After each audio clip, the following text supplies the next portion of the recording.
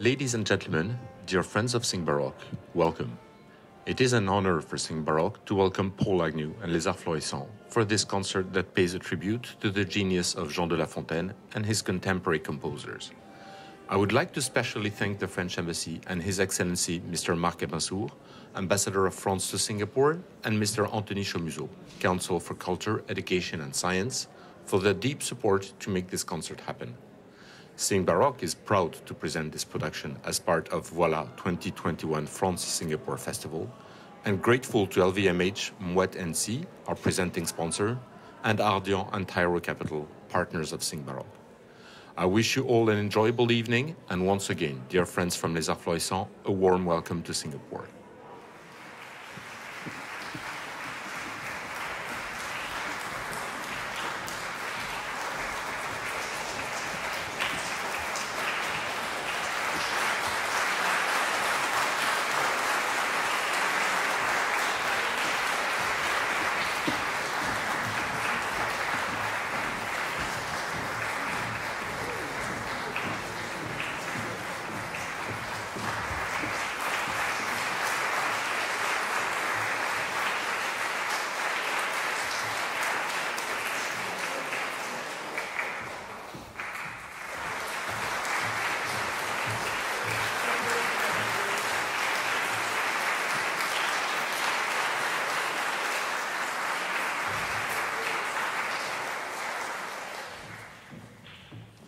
Mesdames et messieurs, ladies and gentlemen, very warm welcome to our concert.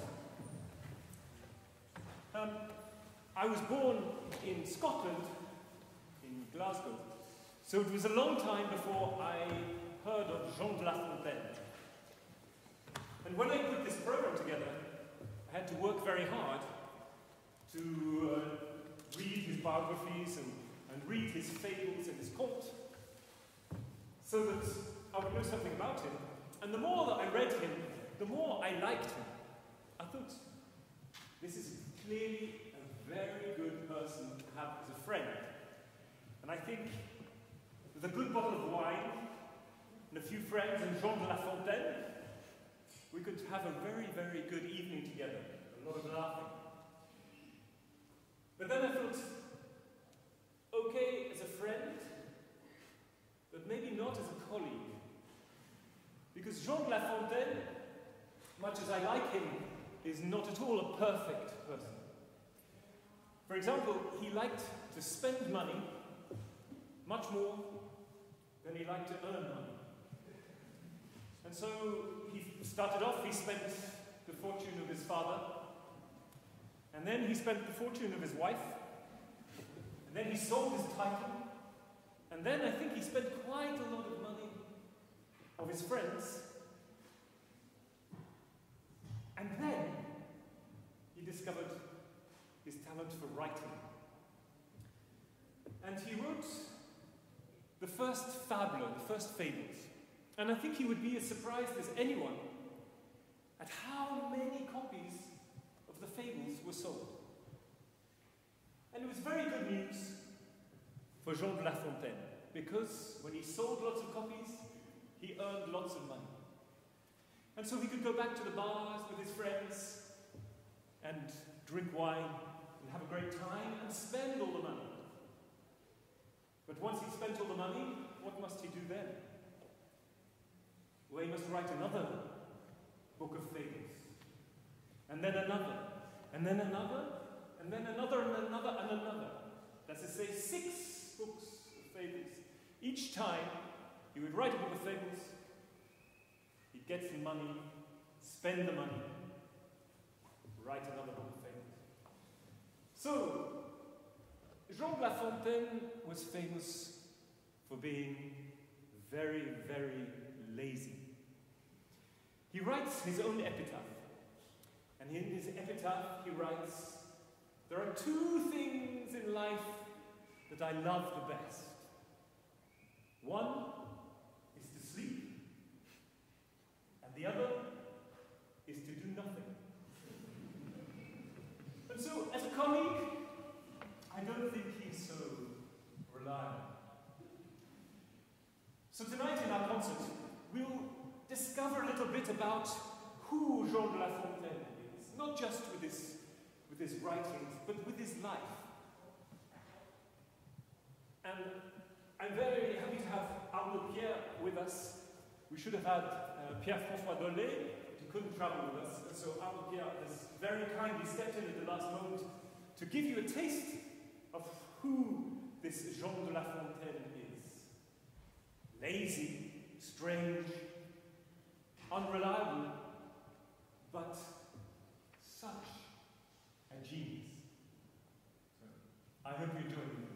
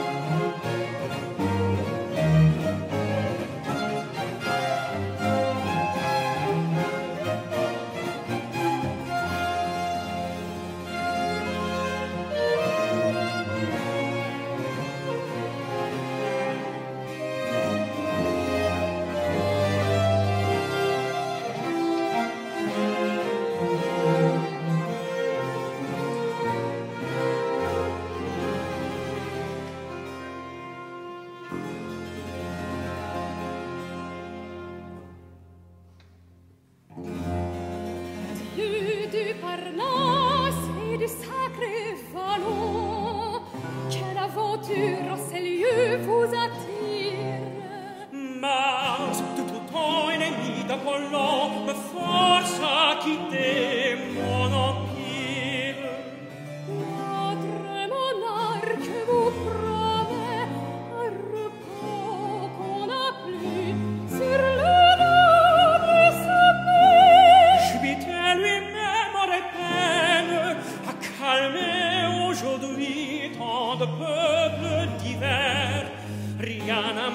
présent silence à l'univers.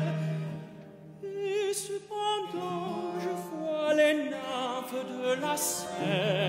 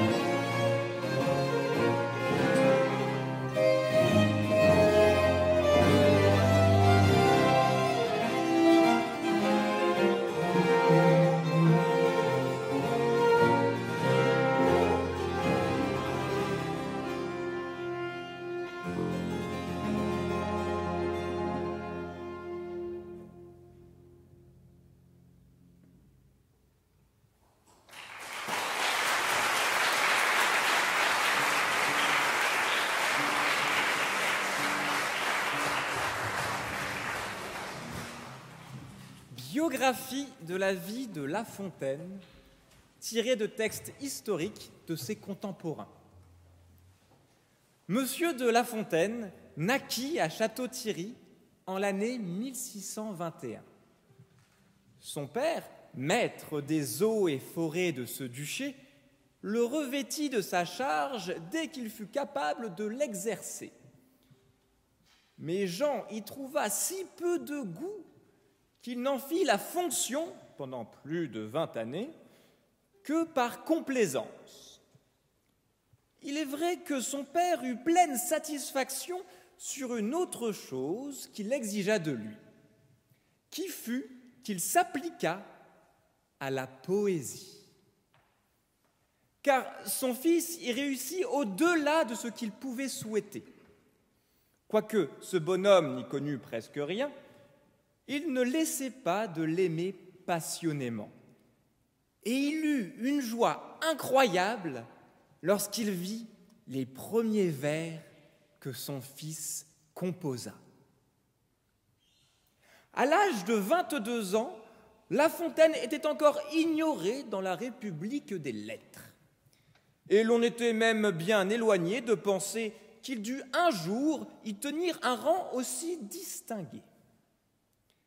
Lorsque le hasard fit entendre à son oreille étonnée une ode de Malherbe. Aussitôt, le jeune homme, saisi d'admiration et vivement touché de la douceur et du charme de l'harmonie, se livre au transport de la joie la plus pure. Une foule de sensations aussi délicieuses que nouvelles pour lui se succèdent rapidement dans son âme émue. Son visage s'anime, ses yeux étincellent, sa tête s'échauffe, sa voix s'embarrasse, il se trouble, il frémit et s'agite au réveil du Dieu qui devait l'inspirer et lui apprendre qu'il était né poète. De tous les grands écrivains français, La Fontaine est le plus continuellement populaire de tous, le plus loué, mais aussi le plus inclassable, le plus fuyant le moins respectable de nos dieux littéraires. Sous quelque point de vue que l'on envisage, soit que l'on considère en lui l'homme ou le poète, on peut dire que ce fut un de ces hommes rares que la nature laisse quelquefois tomber de son sein pour consoler de l'existence d'une infinité d'êtres inutiles.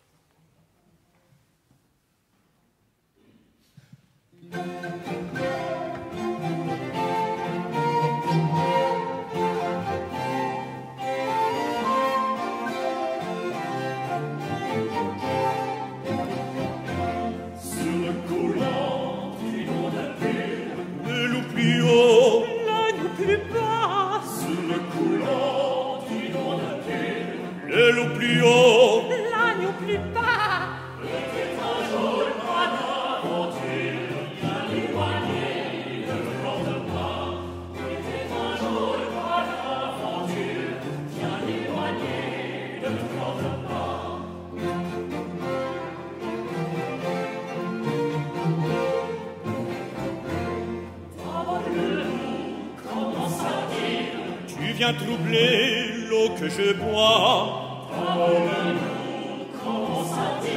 Tu viens troubler l'eau que je bois. Voyez, messire, qu'elle descend de vous à moi.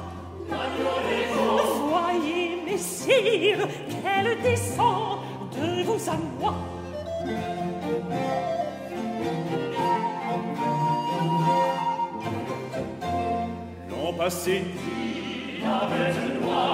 Contre moi tu t'es déchaîné l'an passé. Contre moi tu t'es déchaîné. Comment le croire? Je n'étais pas encore Comment le croire? Je n'étais pas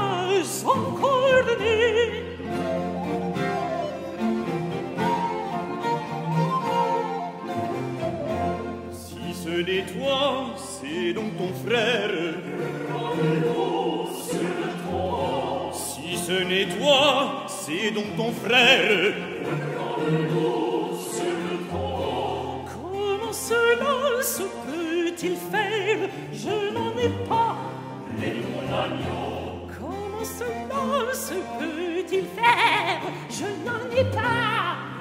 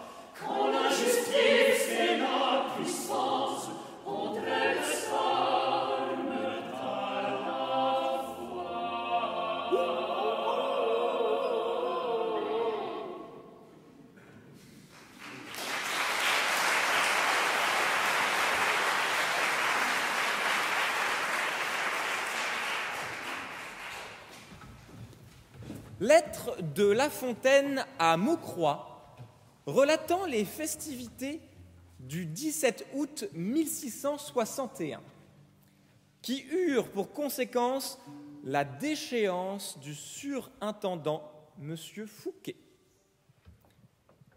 Si tu n'as pas reçu de réponse à la lettre que tu m'as écrite, ce n'est pas de ma faute. Je t'en dirai une autre fois la raison, et je te conterai, pour ce coup-ci, que ce qui s'est passé à Vaux le 17 de ce mois. Le roi, la reine-mère, monsieur, madame, quantité de princes et de seigneurs s'y trouvèrent. Il y eut un souper magnifique, une excellente comédie, un ballet fort divertissant et un feu qui ne devait rien à celui qu'on fit pour l'entrée. Tous les sens furent enchantés, et le régal eut des beautés. Digne du Dieu, digne du Maître, et digne de leur majesté, si quelque chose pouvait l'être. On commença par la promenade. Toute la cour regarda les eaux avec grand plaisir. Jamais Vaux ne sera plus beau qu'il le fut cette soirée-là. Je remarquai une chose à quoi peut-être on ne prit pas garde, c'est que les nymphes de Vaux eurent toujours les yeux sur le roi. Sa bonne mine les ravit toutes, s'il est permis d'user de ce mot en parlant d'un si grand prince. Ensuite, de la promenade, on alla souper. La délicatesse, la rareté des mets n'avaient d'égal que la grâce avec laquelle monsieur et madame la surintendante firent les honneurs de leur maison. Le souper fini, la comédie eut son tour. On avait dressé le théâtre au bas de l'allée de sapins. Parmi la fraîcheur agréable, des fontaines, des bois, de l'ombre et des zéphyrs furent préparés les plaisirs. Que l'on goûta cette soirée, de feuillage touffu, la scène était parée, et de cent flambeaux éclairés, le ciel en fut jaloux. Enfin, figure-toi que lorsqu'on eut tiré l'étoile, tout combattit à veau pour le plaisir du roi, la musique, les eaux, les lustres, les étoiles. On avait accommodé le ballet à la comédie, et tous les danseurs y représentaient des fâcheux de plusieurs manières. En quoi, certes, ils ne parurent nullement fâcheux à notre égard. Au contraire, on les trouva fort divertissants. Et ils se retirèrent trop tôt au gré de la compagnie. Dès que ce plaisir fut cessé, on courut à celui du feu. On vit partir mille fusées qui, par des routes embrasées, se firent toutes dans les airs un chemin tout rempli d'éclairs. Chassant la nuit, brisant ses voiles, de ces colonnes embrasées, il renaissait d'autres fusées ou d'autres formes de pétards. Et l'on voyait régner la guerre entre ces enfants du tonnerre. L'un contre l'autre combattant, voltigeant et pirouettant, faisant un bruit épouvantable, c'est-à-dire un bruit agréable.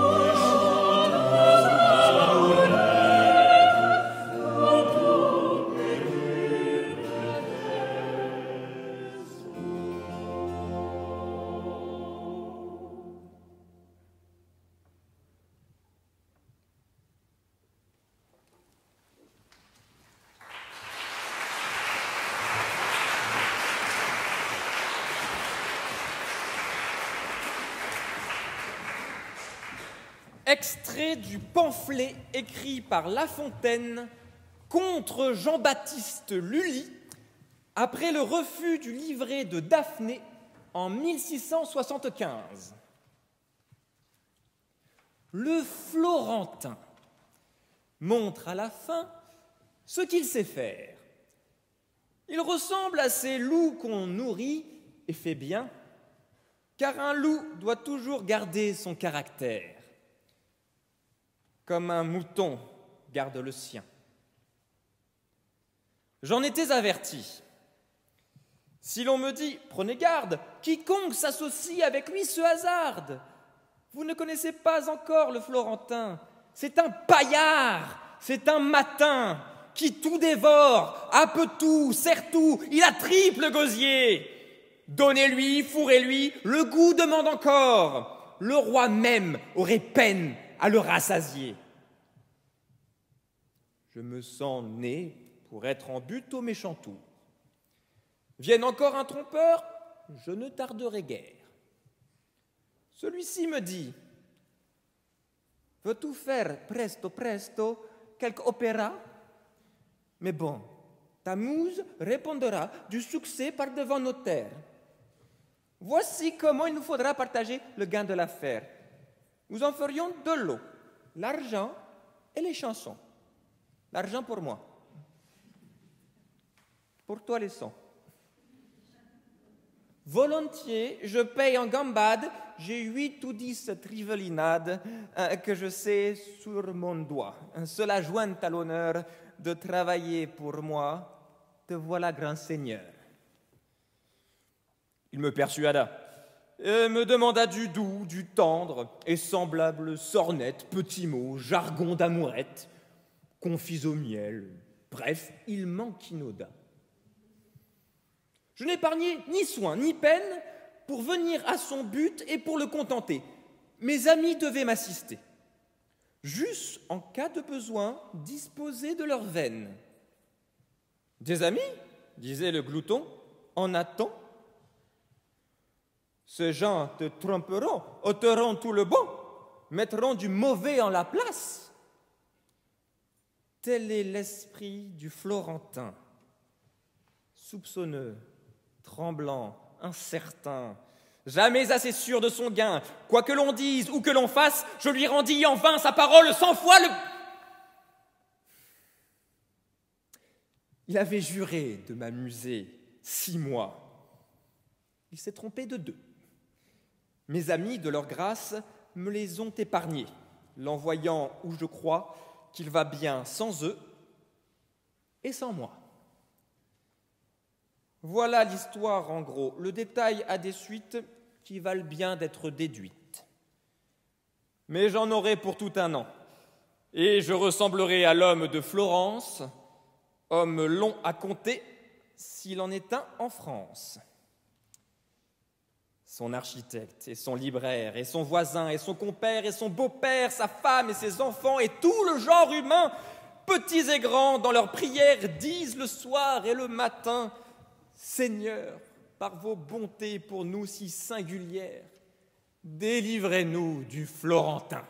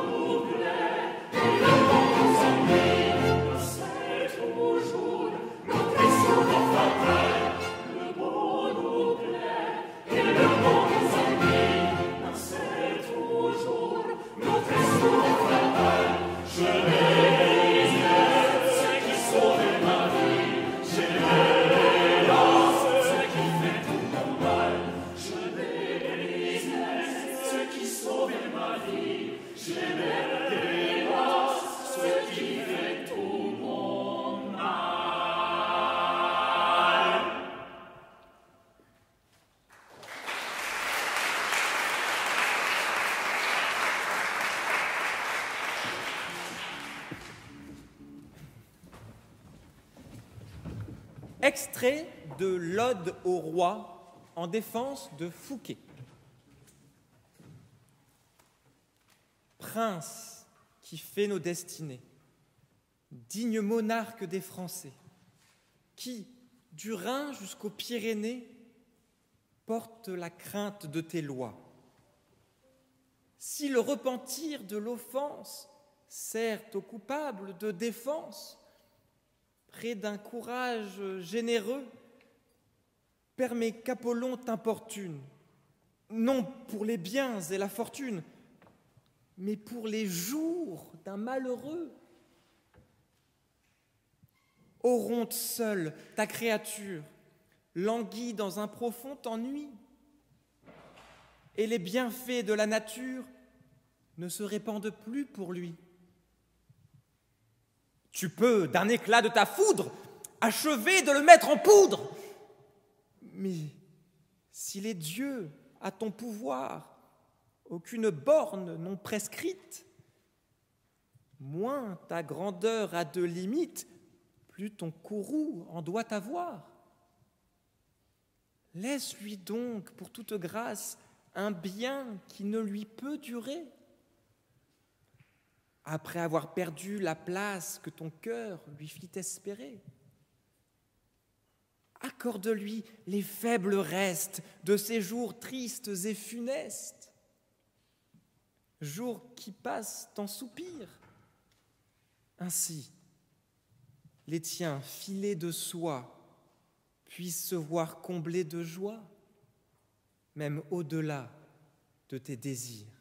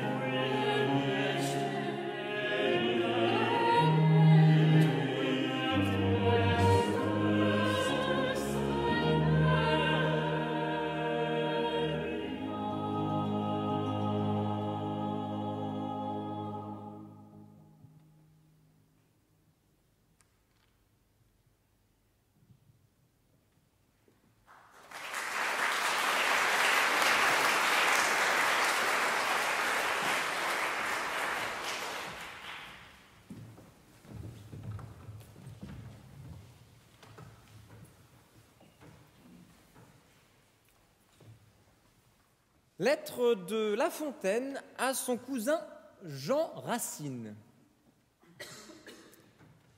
On m'a dit que vous preniez mon silence en fort mauvaise part. On vous avait assuré que je travaillais sans cesse depuis que je suis à Château-Thierry et qu'au lieu de m'appliquer à mes affaires, je n'avais que des vers en tête. Mais le loisir qu'elle me laisse n'est pas la poésie, c'est la paresse qui l'emporte. Je trouvais ici, le matin de mon arrivée, une lettre et un couplet d'une fille de seulement huit ans. J'y ai répondu. Ça a été ma plus forte occupation depuis mon arrivée. Voici le couplet avec le billet l'accompagne.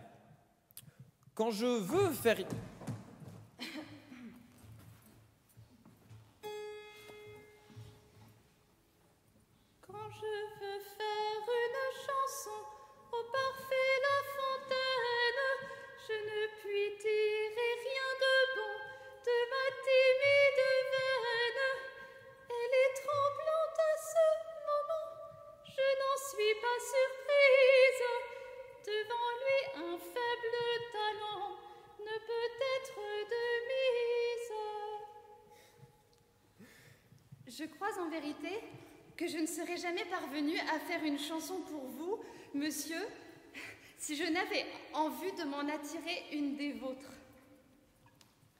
Vous me l'avez promise, et vous avez à plaire à une personne qui est vive sur ses intérêts. Songez que je vous assassinerai jusqu'à ce que vous m'ayez tenu votre parole. De grâce, monsieur, ne négligez point une petite muse qui pourrait parvenir si vous ne lui jetiez un regard favorable. Ce couplet et cette lettre n'ont pas coûté une demi-heure à la demoiselle, hein, qui quelquefois met de l'amour dans ses chansons sans savoir ce que c'est qu'amour? Comme j'ai vu qu'elle ne me laisserait point en repos, que je n'eusse écrit quelque chose pour elle, je lui ai envoyé les trois couplets suivants. Ils sont sur le même air. Oh, vous faites joliment lettres et chansonnettes, quelques grains d'amour seulement, elle serait parfaite. Quand ces oiseaux que sont connus, une muse sait plaire, je ne le trois ans de plus font beaucoup à la faire. Vous parlez quelquefois d'amour pour sans le connaître, j'espère vous voir un jour ce petit Dieu pour maître. Le doux langage des sourires on est pour vous lettre close, pour le trois retours de Zéphyr font beaucoup à la chose. Si cet enfant dans vos chansons a des grâces naïves, que sera-ce quand ces leçons seront un peu plus vives Pour aider l'esprit en sévère, le cœur est nécessaire. Trois printemps sur autant d'hiver font beaucoup à l'affaire. Trois printemps sur autant d'hiver font beaucoup à.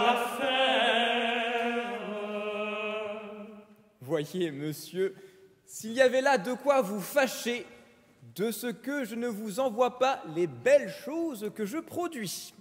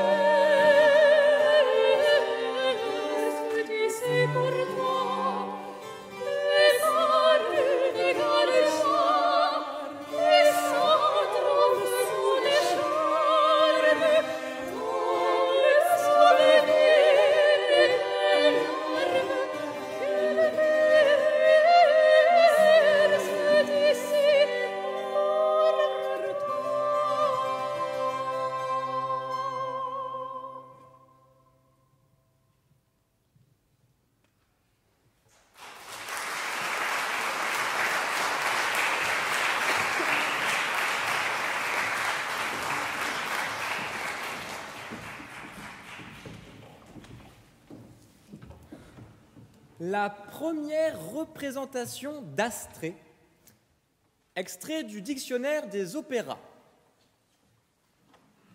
À l'occasion de la première représentation de l'Astrée, tragédie lyrique en trois actes,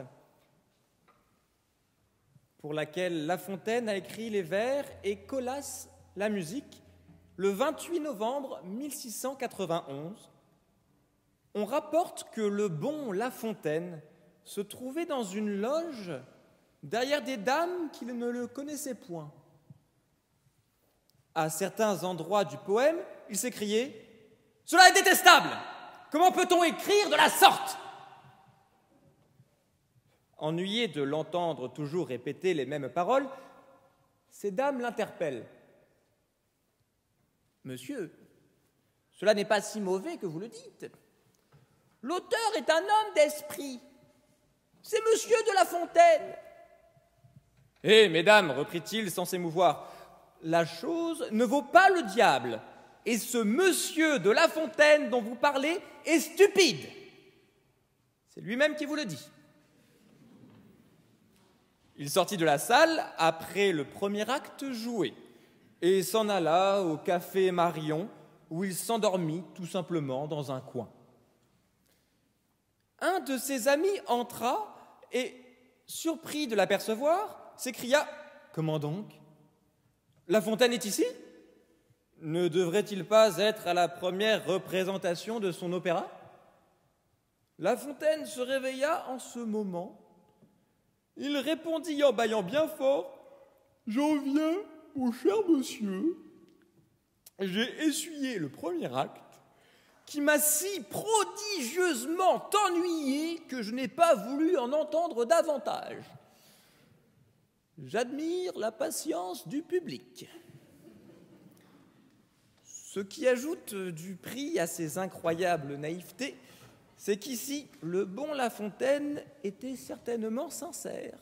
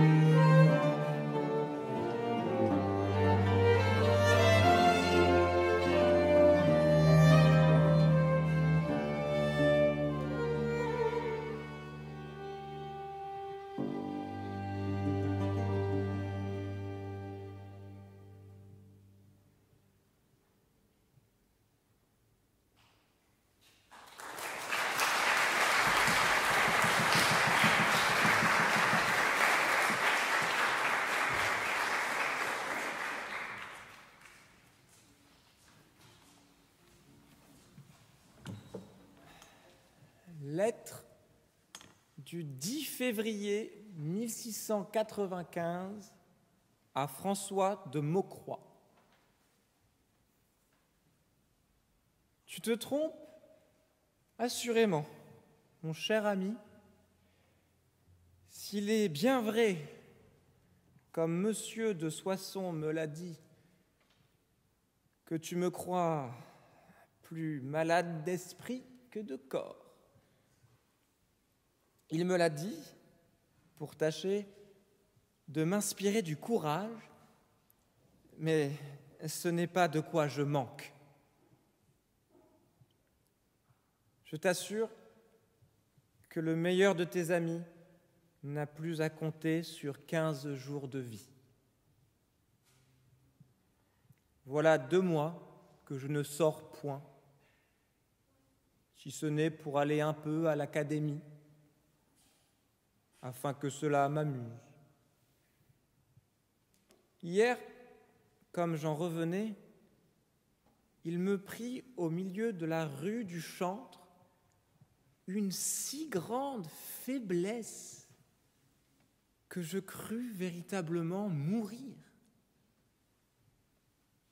Oh, mon cher, mourir n'est rien. Mais songes-tu que je vais comparaître devant Dieu? Tu sais comme j'ai vécu. Avant que tu reçoives ce billet, les portes de l'éternité seront peut-être ouvertes pour moi.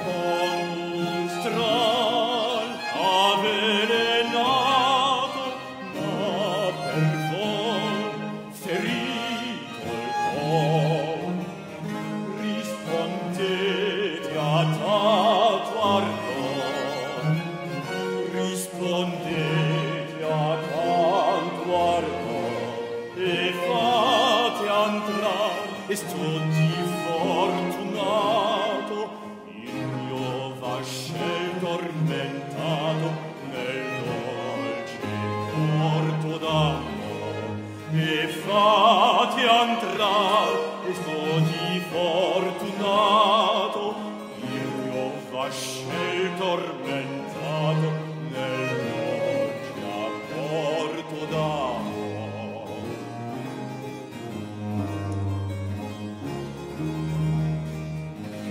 oh sei matta mar sta bella speri tu qualche mercè quest'amor conviene a te come l'assino la sella disetta è fatta per me. O mio son fatto per te disetta è fatta per me. O mio son fatto per ella son Giovan dei giovanella son fedel nei pien di fe. Come io son fatto per ella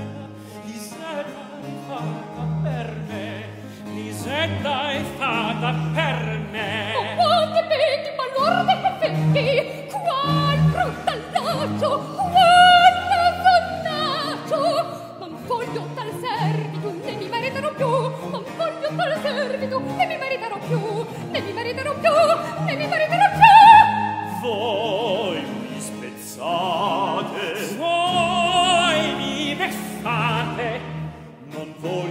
servi non voglio tal servito né mi mariterò più non voglio tal servito né mi mariterò più non voglio tal servito né mi mariterò più non voglio tal servito non voglio tal servito né mi mariterò più non voglio mariterò più né mi mariterò più Nessuno autore per le giovani del mondo, nessuno autore per le giovani del mondo, ma se che tu li tu shot, nessuno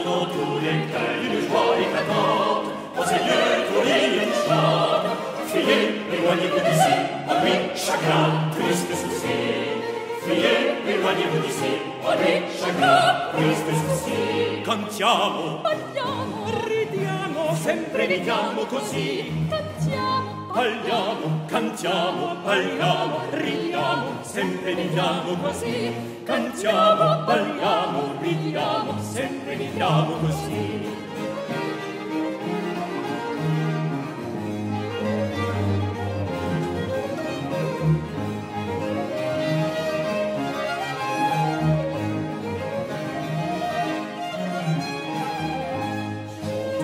Shut up.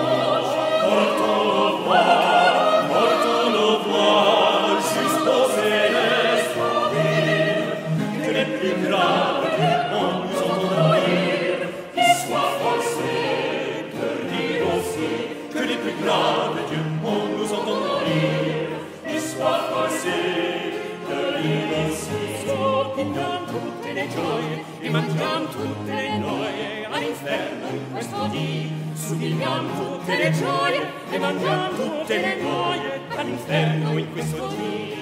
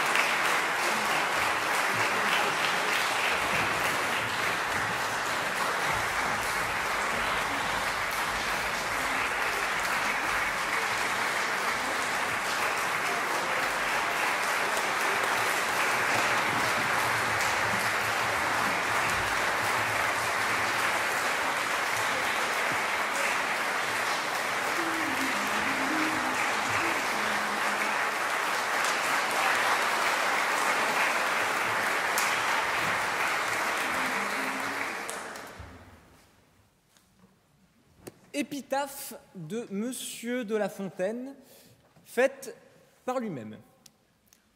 Jean s'en alla comme il était venu, mangeant son fond après son revenu. Croyant le bien chose peu nécessaire, quant à son temps, bien su le dispenser.